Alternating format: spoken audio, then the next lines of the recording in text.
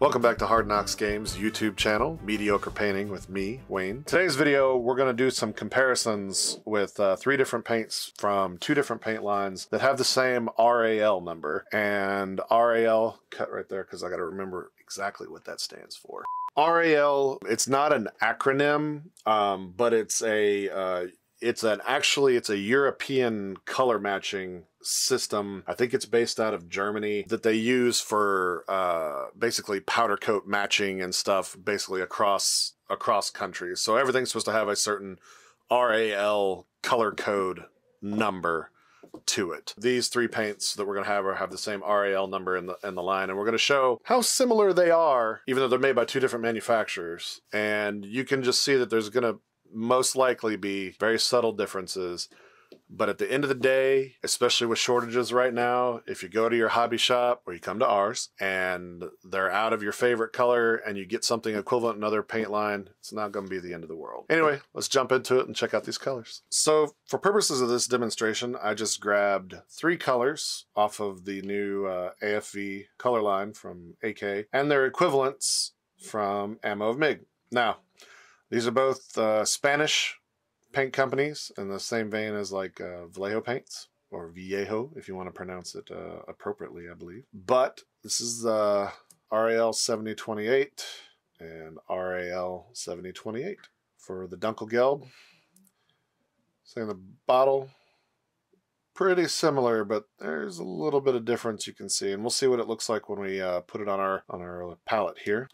So we're doing the Dunkelgelb.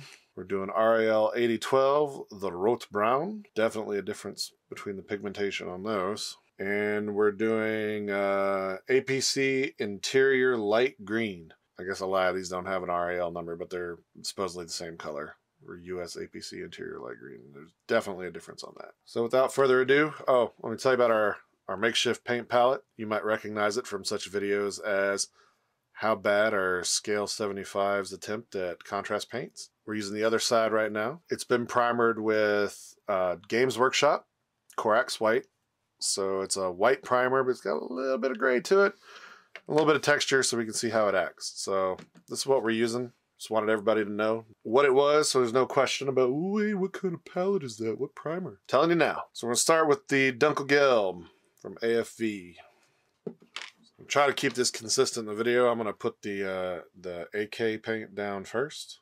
And as most of these uh, paint lines are, pretty thin out the gate. So we'll let that dry and then we'll hit it with a second coat so we get nice, good, thick coverage. And now we're going to do the Ammo of MIG. It's supposed to be a shaker ball in here. All right. Let that dry a bit. So we're going to move to the Rotbraun, RL 8012. Shaky, shaky, shaky, shaky, shaky. So AK on the left. It's a nice reddish brown. Now for the ammo. And now for the APC interior green. APC interior light green. And now we'll do the ammo APC interior green. I love our little Lego palette here. All right. I will let all this dry and then we'll do our comparison close up. So here's our dried, or mostly dried, comparison of these three different paints. And uh, they're pretty darn close. The AK on the left, the ammo on the right. There's some subtle variations. Uh, I think the red is the, the red brown, the Rotbraun is the most obvious um, variation, with one being obviously a little, I mean, the ammo is obviously a little bit more red.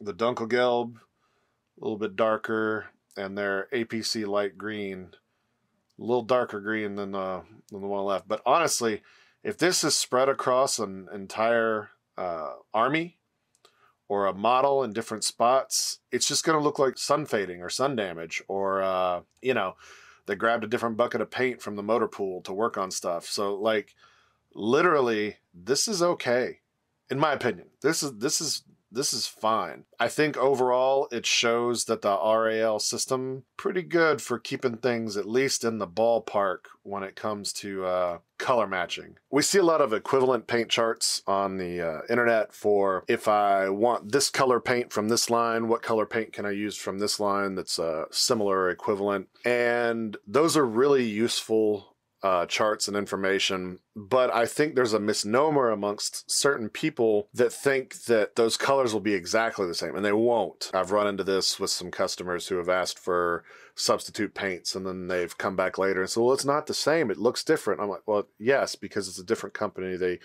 use a different formulation, it's going to be slightly different. I don't know if there's legalese behind that, if they can't use the same formulas or what have you. It's okay, is what I'm trying to say ultimately, when you're looking at the models from three to four feet away on a tabletop, if there's subtle variations in paint color, most people aren't going to be able to tell number one. And number two, if we're talking about a realism point of view, if you've ever been around the military or any sort of uh, equipment, even like if you've looked at like a construction yard with different like bulldozers and stuff in it, nothing is the same color. Unless they both just rolled off the factory floor at the exact same time, the same day, there's going to be variations in your paint. For me, having that difference makes it a little bit more um, real, to repeat myself with the same word. But I mean, maybe realism's not your thing but I mean, no two tanks look alike in real life because there's different colors. Uh, there's a hundred different shades of Kark tan. It's just the way it is. So, anyway, that's just my opinion. Um, obviously, you paint how you want to paint. And if you have to have every color matching exactly the same, that's okay too. I'm just saying, if you can't exactly match the colors that you want, it's not the end of the world. Bye.